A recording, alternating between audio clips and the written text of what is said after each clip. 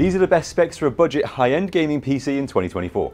For the processor, just get the Ryzen 7 7800X3D because at a lower price you get the same or more FPS as a current Core i9 or Ryzen 9 and compared to the Core i9s you'll get a lot more future upgrade options. For the graphics card I recommend you skip the RTX 4090 and just get an RTX 4080 Super for close enough performance at half the price. I also recommend you skip the more expensive models and just get something like this PNY XLR8 for a lower price for the same performance. For the motherboard you just need a reliable B650 model preferably with Wi-Fi and I would recommend Asus Gigabyte or MSI MSI, and I would just get something like the Gigabyte B650M Gaming X AX. The parts in this PC are surprisingly efficient, so you just need a high quality 800 watt power supply, and for the storage, Lexar makes some great quality budget SSDs. For the case, you just need to focus on airflow, not aesthetics, and if you want a great budget option with great airflow, I recommend either the Cooler Master TD300 Mesh or the Phanteks P360A, and if you're looking for a new PC, check out cataclysm.com.au.